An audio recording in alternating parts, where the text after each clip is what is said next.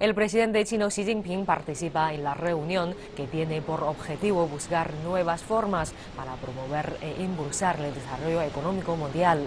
Los miembros del G20 representan el 85% del PIB global y alberga a dos tercios de la población del planeta. Tras los ataques coordinados de París el viernes, la lucha contra el terrorismo es uno de los tópicos que encabeza la agenda. De acuerdo con el borrador de un comunicado publicado el domingo, los líderes del G20 llegarán a consenso sobre la aplicación de controles fronterizos y seguridad de la aviación y analizarán las causas de la migración.